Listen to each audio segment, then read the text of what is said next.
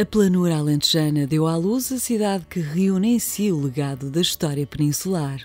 Portugal reencontra em Évora a herança de romanos e árabes que fez emergir uma cidade de forte identidade. Elevada à categoria de município no século XII, Évora é o centro nevrálgico da região alentejana, assumindo-se hoje como uma referência energética mundial. A primeira Innov City ibérica é a imagem do futuro no que toca à eficiência energética, à microprodução e à mobilidade elétrica. Os seus 57 mil habitantes são capazes de gerar energia, controlar gastos e potenciar resultados numa cidade que funciona de acordo com os princípios da sustentabilidade.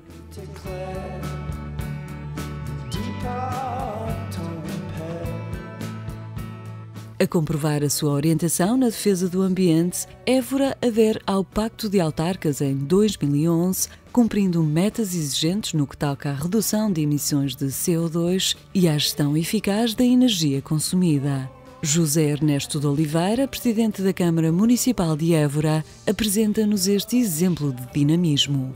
Nós comprometemos com a regra dos 320. Queremos 20% até o ano 2020, eh, queremos menos 20% de produção de CO2, menos 20% de faturação uh, energética e menos 20% de uh, fatores agressivos em termos portanto, de consumo de oxigênio.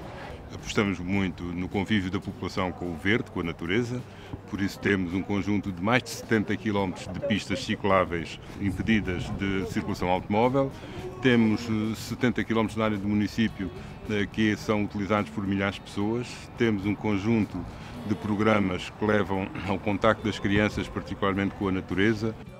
Empenhada em garantir mais qualidade de vida aos seus habitantes, Évora deu as boas-vindas ao projeto piloto da rede inteligente InnovGrid. Esta rede chega a praticamente todos os lares eborenses, aproximando os cidadãos da energia que consomem.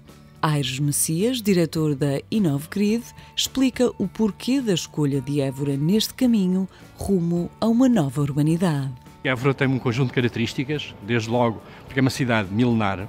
Eh, foi muito importante nós mostrarmos que era possível introduzir estas novas alterações tecnológicas numa cidade antiga como, como Évora. Inclusive há microprodutores na própria cidade que se passearmos por Évora nem se veem, mas depois acabam por ficar ligados à rede tinha também uma universidade. Era muito importante para nós eh, termos eh, uma instituições locais, eh, não só a universidade, mas também o próprio município, também associações de consumidores que trabalham em Évora e que poderiam interagir de uma forma eh, de um diálogo muito intenso com, com, a própria, com a própria EDP. Portanto, há um conjunto de características, uma certa mistura, porque nós não estamos só a trabalhar em Évora, na cidade, estamos a trabalhar em todo o município, uma certa característica entre o que é rede rural, rede urbana e uma rede um bocado mista. Portanto, tinha um conjunto de características, a própria dimensão, eh, que permitia que eh, a sua reprodução daquilo que poderia ser a sua replicagem depois no futuro para o resto do país, nos mostrasse evidenciasse os principais benefícios